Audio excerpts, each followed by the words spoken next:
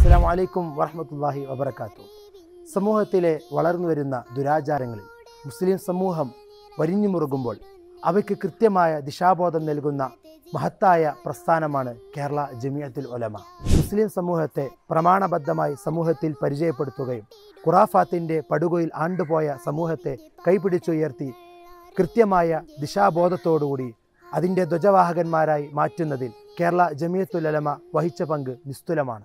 ആയിരത്തി തൊള്ളായിരത്തി ഇരുപത്തിനാലിൽ ഈ പ്രസ്ഥാനം രൂപീകരിക്കപ്പെടുമ്പോൾ ഈ മഹാപ്രസ്ഥാനത്തിന് കീഴിൽ ഒരു അറബി കോളേജ് എന്ന ചിന്തയിലൂടെയാണ് ആയിരത്തി തൊള്ളായിരത്തി നാൽപ്പത്തി ഏഴിൽ പുളിക്കൽ മദീനത്തിലും അറബി കോളേജ് എന്ന സ്ഥാപനം ഉണ്ടാകുന്നത്. ഇനി ഒരു നാൾ കൂടി ഈ വൈജ്ഞാനിക ഗോപുരത്തിൽ ഇവിടുത്തെ വിദ്യാർത്ഥികൾ തൗഹീദാണ് പ്രധാനം സുന്നത്തന്നിധാനം എന്ന മഹത്തായ പ്രമേയത്തിൽ ദാവ സമ്മേളനം സംഘടിപ്പിക്കുമ്പോൾ എല്ലാ വിശ്വാസി വിശ്വാസിനികളെയും സവിനയം ഞങ്ങൾ ക്ഷണിച്ചുകൊള്ളുന്നു.